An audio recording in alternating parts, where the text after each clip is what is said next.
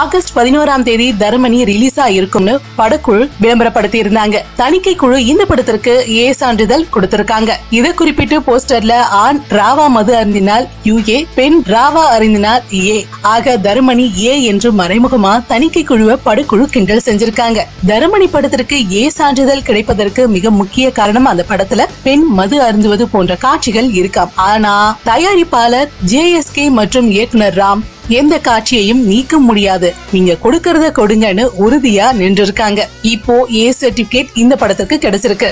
ராம் இயக்கத்துல வசந்த் ரவி ஆண்ட்ரியா அஞ்சலி நடிப்புல உருவாகிட்டு இருக்க படம் தரமணி. இவன் மியூசிக் பண்ணிருக்காரு சதீஷ்குமார் தயாரிச்சிருக்காரு.